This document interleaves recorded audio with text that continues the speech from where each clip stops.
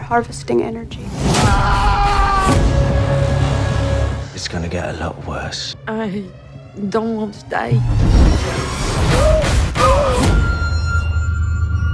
Now, I want you to imagine your most favorite place in the whole wide world. This place is yours and yours only. And when you're there, you're completely and utterly safe. Everything else just disappears.